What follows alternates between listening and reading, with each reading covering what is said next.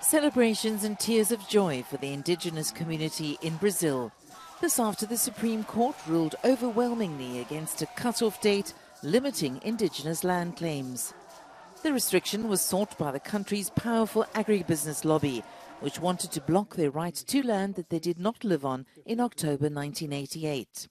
Nine of the 11 Supreme Court judges rejected the proposal, saying it countered constitutional guarantees on indigenous rights to ancestral lands.